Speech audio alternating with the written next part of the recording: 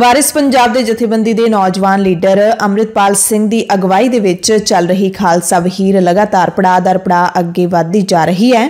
ਇਸ ਦਰਮਿਆਨ ਹੋਰਨਾਂ ਭਾਈਚਾਰਿਆਂ ਦੇ ਲੋਕ ਵੀ ਇਸ ਖਾਲਸਾ ਵਹੀਰ ਦਾ ਦਿਲੋਂ ਸਵਾਗਤ ਕਰ ਰਹੇ ਨੇ। ਤਾਜ਼ਾ ਤਸਵੀਰ ਕਪੂਰਥਲਾ ਦੇ ਗੁਰਦੁਆਰਾ ਬਿਹਾਰੀਪੁਰ ਤੋਂ ਹੈ, ਜਿੱਥੇ ਕੱਲ ਖਾਲਸਾ ਵਹੀਦ ਦਾ ਪੜਾਅ ਪਹੁੰਚਿਆ ਸੀ।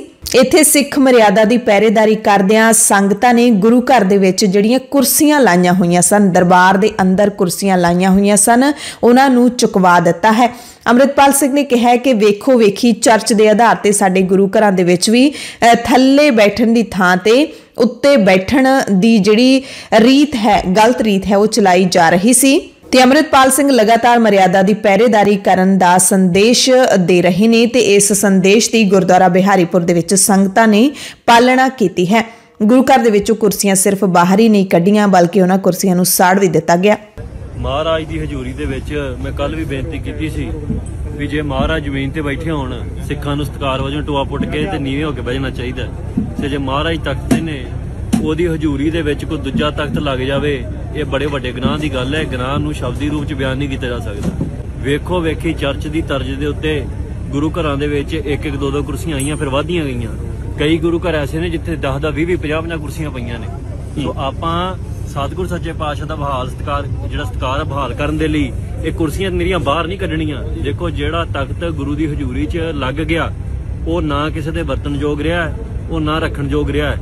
ਉਹ ਜੇ ਲੋਹਾ ਵਾ ਲੋਹਾ ਵਾ ਤੇ ਉਹਨੂੰ ਪਗਲਾ ਦਿਓ ਪਗਲਾ ਕੇ ਤੇ ਕਿਤੇ ਸੁੱਟ ਦਿਓ।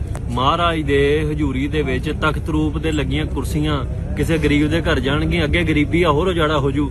ਇਹ ਤੇ ਪੁਲਿਸ ਵਾਲਿਆਂ ਨੂੰ ਕਹਾ ਵੀ ਕੋਈ ਆਪਣੇ ਘਰ ਨਾ ਲੈ ਜਾਵੇ।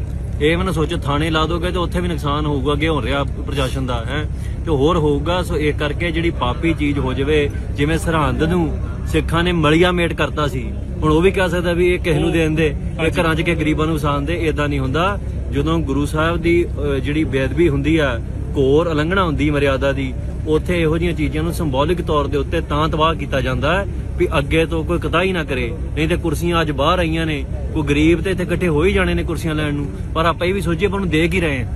ਹੱਕ ਦੇ ਕਮਾਈ ਦਾ ਹੀ ਦਾਨ ਕਰਨਾ ਚਾਹੀਦਾ ਹੈ ਤੇ ਇਹ ਤੇ ਪਲੀਤ ਹੋਈ ਚੀਜ਼ ਹੈ ਜੇ ਲੱਕੜ ਹੈ ਤੇ ਲੱਕੜ ਨੂੰ ਅੱਗ ਲਾ ਦਿਓ। ਉਹਦੀ ਅੱਗ ਸੇਕਣੀ ਵੀ ਨਹੀਂ ਚਾਹੀਦੀ ਮੈਂ ਕਹਿੰਦਾ। ਇਹਦੇ ਨਾਲ ਰੋਟੀ ਪੱਕੇ ਨਾ ਚੁੱਲ੍ਹਾ ਬਲੇ ਇਹਨੂੰ ਅੱਗ ਲਾ ਕੇ ਦੂਰ ਕਿਤੇ ਅੱਗ ਲਾਉਣੀ ਚਾਹੀਦੀ ਹੈ ਇਹੋ ਜਿਹੀ ਚੀਜ਼ ਨੂੰ।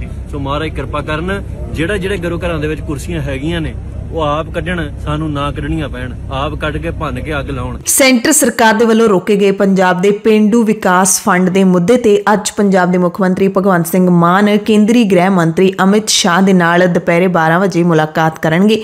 ਉਸ ਤੋਂ ਬਾਅਦ ਭਗਵੰਤ ਮਾਨ, ਕੇਂਦਰੀ ਖੁਰਾਕ ਮੰਤਰੀ ਪਿਊਸ਼ ਗੋਇਲ ਨੂੰ ਵੀ ਮਿਲਣਗੇ। ਦਰਅਸਲ, ਪਿੰਡੂ ਵਿਕਾਸ ਫੰਡਾਂ ਦੇ ਕਰੀਬ 2880 ਕਰੋੜ ਦੇ ਬਕਾਏ ਕੇਂਦਰ ਸਰਕਾਰ ਵੱਲ ਖੜੇ ਨੇ ਤੇ ਸੈਂਟਰ ਦੀ ਸਰਕਾਰ ਇਹਨਾਂ ਫੰਡਾਂ ਨੂੰ ਰਿਲੀਜ਼ ਕਰਨ ਤੋਂ ਲਗਾਤਾਰ ਟਾਲਾ ਵੱਟ ਰਹੀ ਹੈ। ਅੱਜ ਰਾਤ ਨੂੰ ਮੁੱਖ ਮੰਤਰੀ ਭਗਵੰਤ ਮਾਨ ਦਿੱਲੀ ਦੇ ਵਿੱਚ ਦਰਜਨਾਂ ਦੇਸ਼ਾਂ ਦੇ ਰਾਜਦੂਤਾਂ ਦੇ ਨਾਲ ਰਾਤ ਦਾ ਭੋਜਨ ਵੀ ਛਕਣਗੇ।